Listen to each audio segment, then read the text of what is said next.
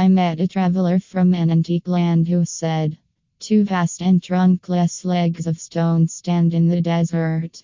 Near them, on the sand, half sunk, a shattered visage lies, whose frown, and wrinkled lip, and sneer of cold command, tell that its sculptor well those passions read which yet survive, stamped on these lifeless things, the hand that mocked them, and the heart that fed.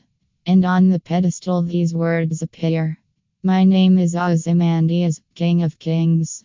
Look on my works, ye mighty, and despair. Nothing beside remains. Round the decay of that colossal wreck, boundless and bare the lone and level sands stretch far away. बिस्मिल्लाहिर्रहमानिर्रहीम PB Shelley की ये poem है ओजी मेंडियाज और ये poem number eight है first year English F F S C I काम D काम के लिए ये सिलेबस के मुताबिक है। और ये बड़ी अहम है और कई बार ये आ चुकी है। I met a traveller from an antique land antique का मतलब है कदीम।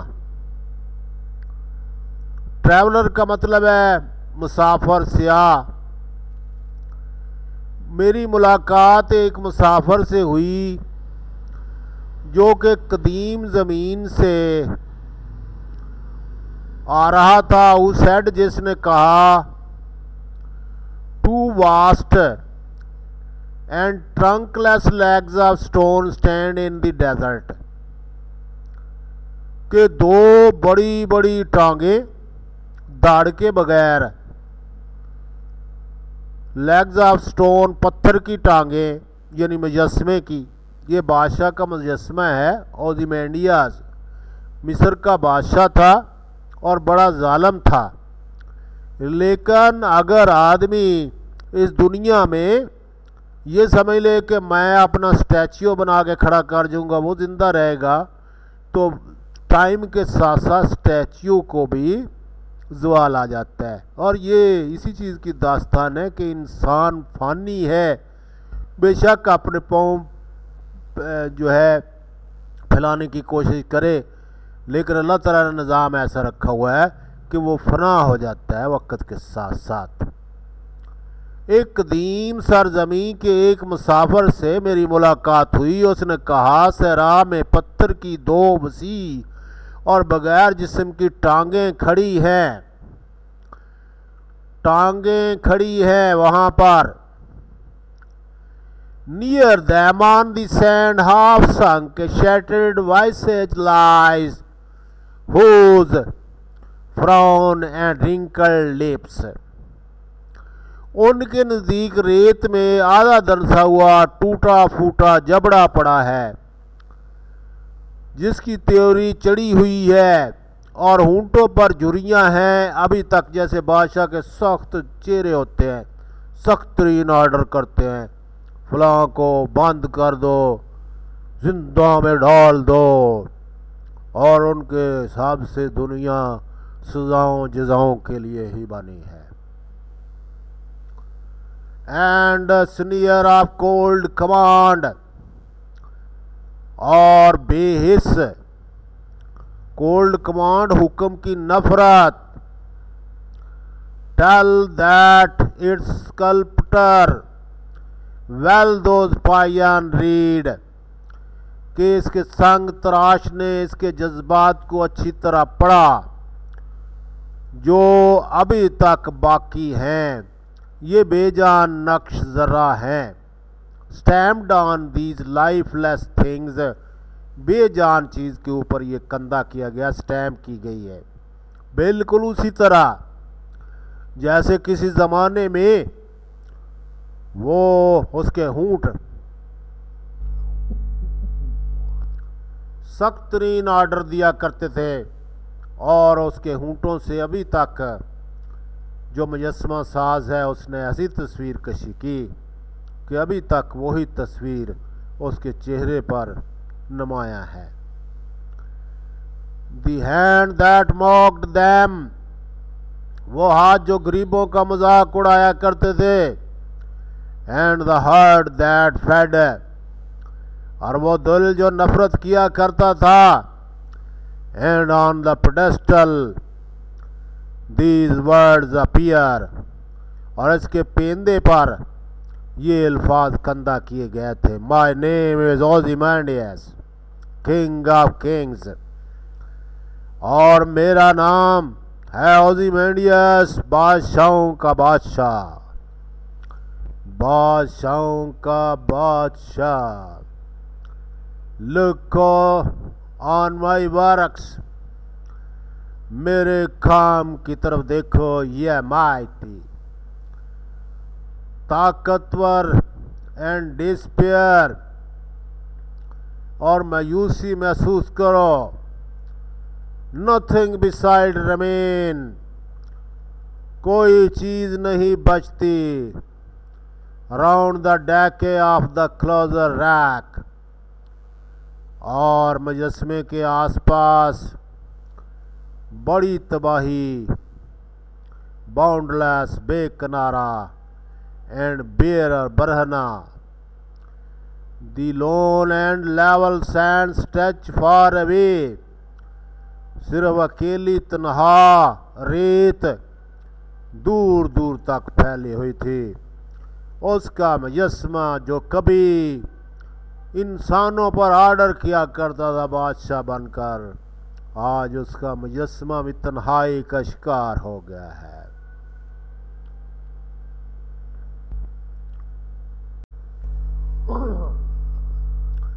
अब हम देखते हैं अहम सवालात और जवाबात। इस पोइम के मतलब what did the traveller see in the desert मुसाफिर ने सहरा में क्या देखा? What did the traveller see in the desert the traveller saw two huge legs made of stone, standing in the desert. मुसाफर ने सहरा में पत्थर से बनी दो बड़ी टांगें देखी। इस शख्स का एक पत्थर वाला जिस्म था, जिसकी टांगें करीब ही पड़ी थीं। Standing in the desert there was a stony body of the man lying पत्थर की बॉडी जो थी।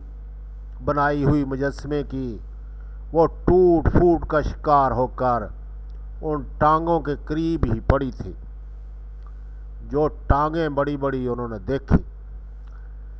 What was written on the pedestal of the statue इस स्टैच्यू के पेंदे पर क्या लिखा गया? It was written as my name as Ozymandias king of kings ये लिखा गया, पेंदे के ऊपर के मेरा नाम है Ozymandias king of king शहन शाहों का शहन शाह बादशाहों का बादशाह। What was the condition of the statue that the traveller see in the desert और जो मुसाफर ने स्टैच्यू देखा, उसकी क्या हालत थी? सहरा के अंदर the statue was broken and destroyed statue टूट फूट और तबाही का शिकार था।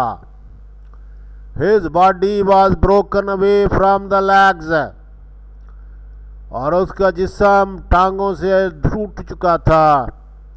And was lying half sunk in the sand और ज़मीन में आधा दरसा हुआ था। The legs were standing besides और उसके करीब ही टांगे खड़ी थी। इट्स कंडीशन वाज मयरेबल और बहुत ही इसकी काबिल अफसोस हालत थी। मुजस्मा टूट फूट का शिकार था। What is the theme of the poem आगे जाकर इसका थीम होगा। वहाँ से आपने देख लेना है for the answer to this question please see the theme of the poem Ozymandias what is the message of the poem Ozymandias Ozymandias ये नज़म जो है, इसका थीम क्या है? The poem tells us that we must be prepared for our worst end we do not take care of others अगर हम दूसरों का ख्याल नहीं रखेंगे ज़िंदगी में तो हमें अपने अयाम के लिए, इंजाम के लिए तैयार होना चाहिए। और मौत जब आपको घेर लेगी। The oppression cruelty and pride have the same end as of the other ordinary man और जो दबाव, जुल्म और जो गुरूर है, वो उसी का वही अखीर है। जो आम लोगों का अखीर होता है Ozymandias poem theme. This is a beautiful arnic poem.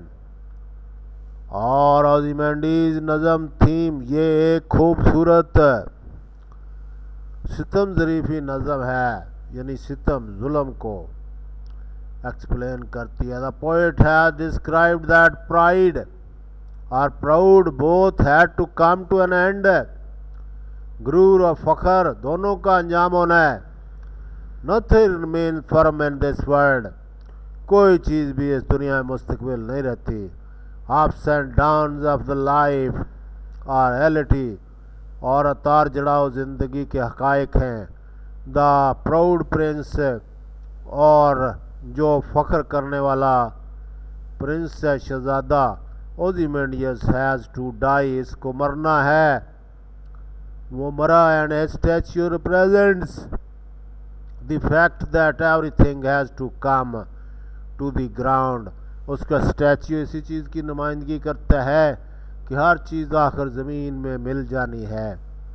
The statue in the poem represent the end इंसान के अखीर को जार करता है ये statue every cruel and proud man has to meet और इस मौत का सामना हर एक ने जो फ़ख्र करता है, जुल्म करता है, उसने करना है।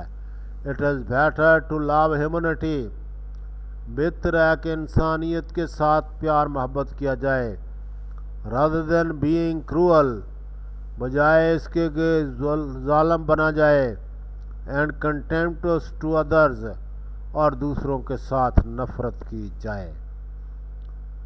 और बेहतर है कि चैनल को सब्सक्राइब कर दिया जाए।